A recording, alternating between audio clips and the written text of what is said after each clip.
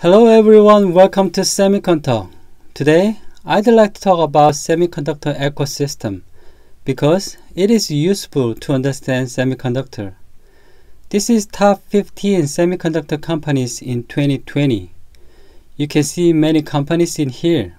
Do you know about these companies and what they are doing? Let's check it out. There are four areas in semiconductor industry. Fabless, foundry, IDM, and OSAT. Before to explain about this, you need to know about semiconductor manufacturing process flow. Step 1 is chip design. This is a process through IC pattern by making electronic component and its interconnection. Step 2 is chip fabrication. This process is to fabricate IC on wafer based on design by Fabless. Step 3 is assembly. This process is packaging and include test as well. Chip design is done by Fabless. Chip fabrication is done by foundry. IDM does both chip design and chip fabrication. Assembly is done by OSAT. So, each process and players match like this. Fabless companies draw IC pattern by making electronic component and its interconnection.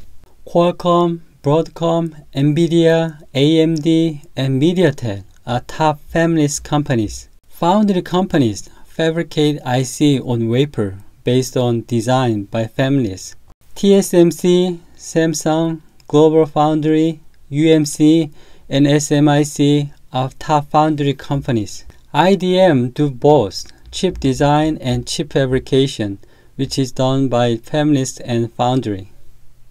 Intel, Samsung, SK Hynix, Micron, and Texas Instruments are top IDMs. OSAT to packaging.